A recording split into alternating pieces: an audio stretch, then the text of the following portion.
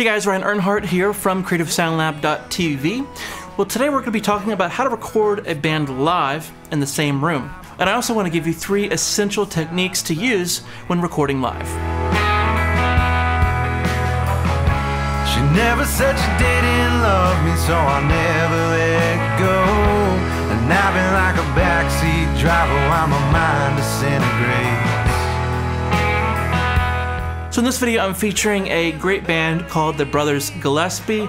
They're a local band here in Asheville, and this song is called Bill-Berry Blues. And one of the best things about recording live is that you actually get a piece of that live performance in the studio. There's something that is really cool that happens that it's very hard to formulate and create when you multi-track and when you build a song piece by piece. So I actually have a whole course about recording live in the studio and I'll put a link in the upper right if you're interested in really going deep with this. There's a lot to learn here let's just solo some of these instruments. So I'll play you kind of the main mix for maybe 30 seconds or so. Then I'm gonna go ahead and solo each instrument just to see what they sound like and to see how bad the bleed from other instruments are getting into those mics. Out of another window.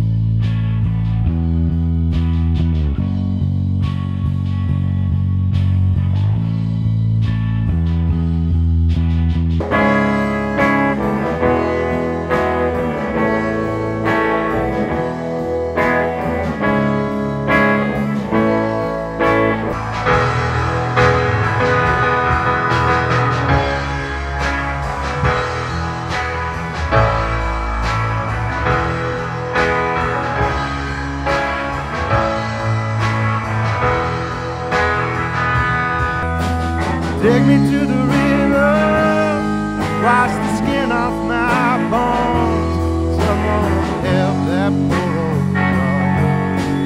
Find his way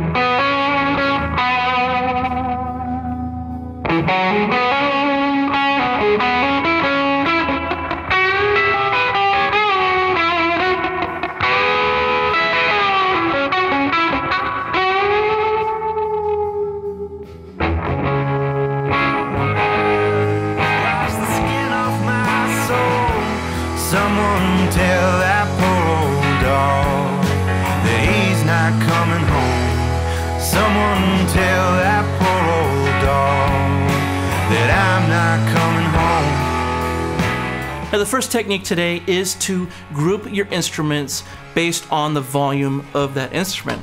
Second one is to aim the microphones and the nulls. And finally, the third technique is to aim the sources. And I'll get to that in a moment. First, let's go over the grouping of the instruments according to their volume.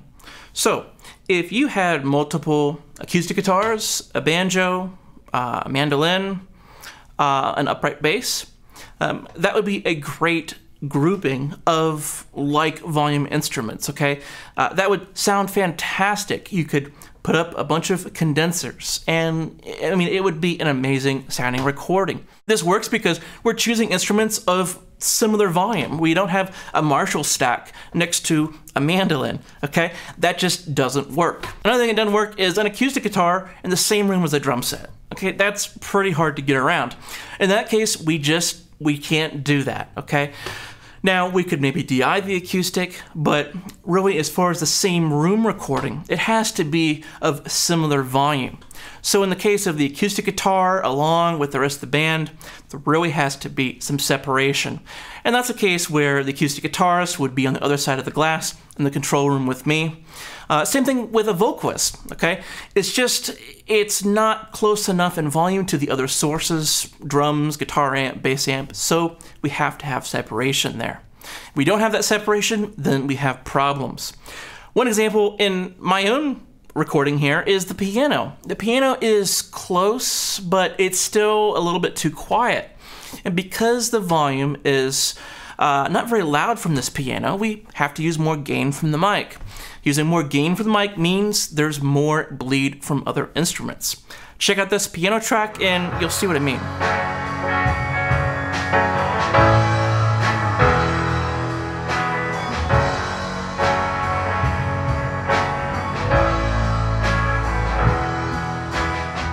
Okay, same concept, but on the lead guitar track. Check out the bleed on this track.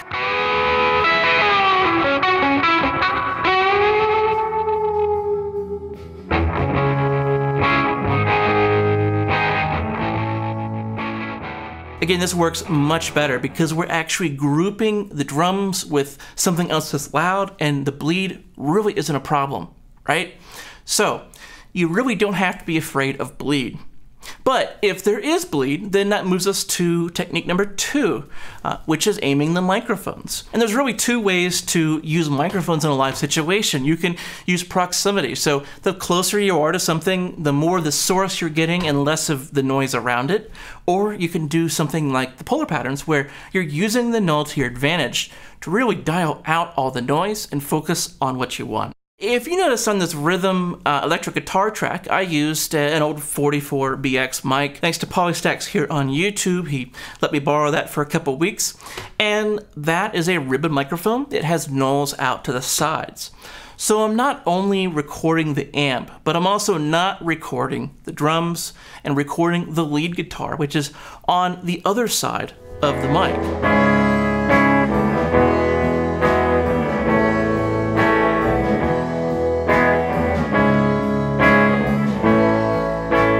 We see this happening in other places, like the lead guitar again. The 421 is aimed a little bit away, a little bit at an angle.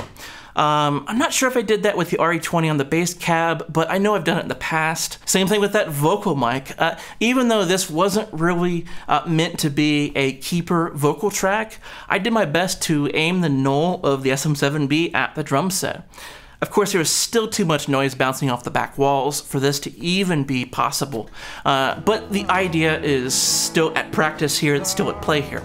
Get my pride back down inside to find way. She never said she didn't love me, so I never let go. And I've been like a backseat driver while my mind disintegrates. Now, aside from using the polar pattern, I mentioned that uh, you can get just close to something, right? Use proximity and increase the ratio of direct sound to indirect sound. And we see that this is not really happening in the drum overhead. And so what's the catch? I mean, do we have lots of guitar amp, lots of bass amp in the overhead? Well, uh, you know, that actually moves to the next point, which is to aim the sources. And really, there's some interesting things that happen with guitar amps. If you slowly turn the amp, you'll find that there's usually an angle um, that has the least amount of sound coming out of it. And you find that angle and you point it right at the drum overheads. There's a lot to unpack here. There's a specific technique I use for the drums. There's a specific technique I use for each of these guitar amps and the layout of the room. Um, I cover several different ways to lay out a room in a live recording in my course. So in review, we have that we're uh, pairing instruments of like volume. So similar volume go in the same room. Different volume, you have to separate them out. Next, we go to uh, aiming the microphones. So we can use proximity or we can use the polar pattern. Use proximity to increase that ratio of direct sound to indirect sound, or you can use that polar pattern to uh, null out or cancel out sound from the drum set, just like we did on that ribbon mic on that guitar amp. And then finally, if we can't get the mic close to something or a mic is just vulnerable, like the drum overheads, then we can use kind of the uh, sources and aim those sources in such a way that it minimizes the amount that's going into that overhead. Probably two things I would change about this recording specifically. Um, I kind of need to uh, build some sort of case for the piano that protects the piano uh, from sound just coming straight off the drum set into the soundboard of the piano. Um, it really needs to be protected more, and I wasn't quite happy with the amount of drum noise getting in that piano mic. Secondly, I, I, I, don't know about this bass cab. It just was too much. It was too much bleed. And I think maybe a different bass cabinet, maybe an open back bass cabinet, would actually be better and we can actually protect those drum overheads. Again, there's a lot to unpack here, and this is something that I've tested extensively in my course on how to record live in studio. So I'd love to know your thoughts on this. These are the techniques that really should introduce you into live recording. This is actually a great way to save money in the studio if you're musicians. It's a great way to get better energy for your recording. And if you run a studio as a business, it's actually a great advantage to say, I can record a five song EP in a couple of days. We record all the main tracks, and then on day two, we record the vocals. So recording live is such a great way to work and it's a lot of fun. I'd love to know what you think of this. I'm hanging out in the comments below. Yeah.